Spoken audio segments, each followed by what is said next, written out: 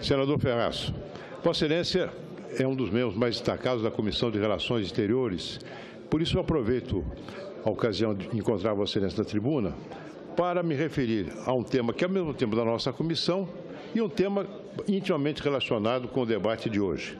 Falou-se aqui muito em crimes.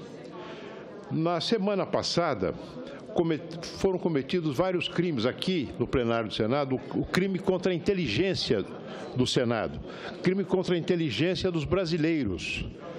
Ao me apresentarem alguns colegas nossos como alguém que tivesse por favor, como alguém que tivesse ido aos Estados Unidos para conspirar contra o Brasil, para pedir o apoio do império, como disse um senador do PT, nosso colega, para que o império, os Estados Unidos, é, atuassem para destituir um governo democrático. Essa, esses foram os crimes contra a inteligência e contra a verdade dos fatos.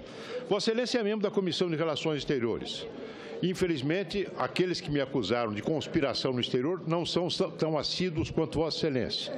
Se tivessem sido, teriam registrado que esse pedido de licença foi aprovado pela Comissão de Relações Exteriores antes de se fixar a data da votação na Câmara. Mais ainda, a minha passagem, o meu bilhete, senador Lindbergh, Vossa Excelência foi um desses que veio aqui me, me acusar de conspirador, por favor, ouça.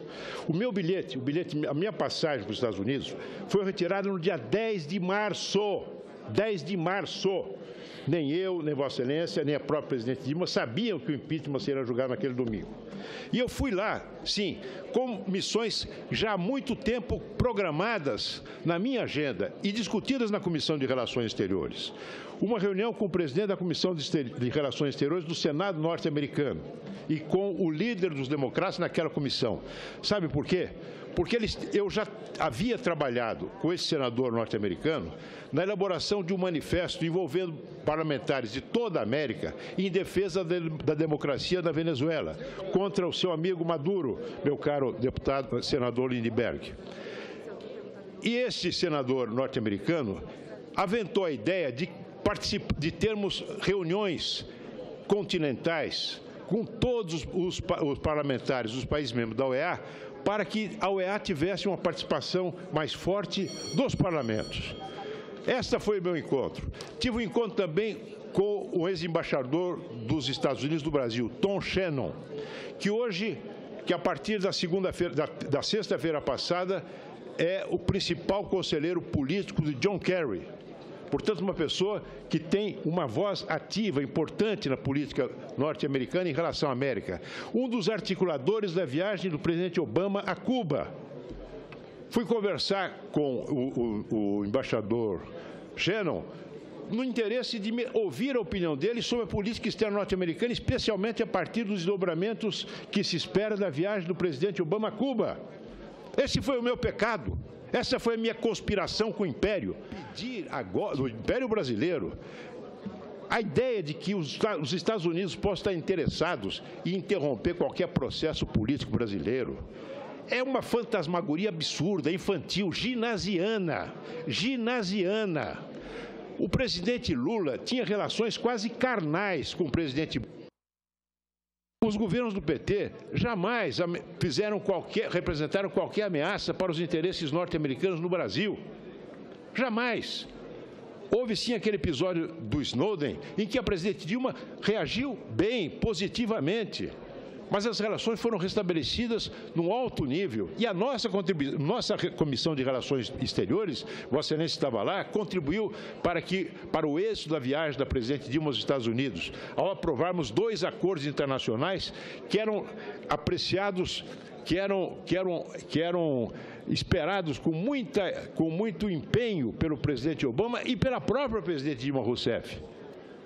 Depois fui ao México, uma reunião com a a Comissão de Relações Exteriores do México e de parlamentares americanos. Eu queria dar essa, essa fazer essa, esse, esse aparte talvez um pouco extemporâneo, porque eu estava com essa coisa atravessada aqui, na garganta.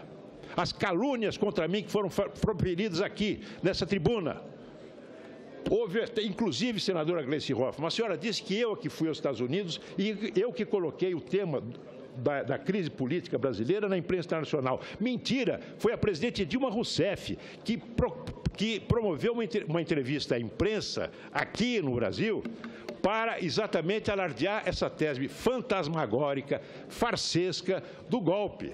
Quem vai fazer apelo para organizações internacionais, para outros países interferirem no processo brasileiro, é a presidente Dilma Rousseff, que mandou para uma reunião da Anasul seu chanceler e o seu conselheiro internacional, Marco Aurélio Garcia, com o objetivo de pedir sanções contra o seu próprio, próprio país.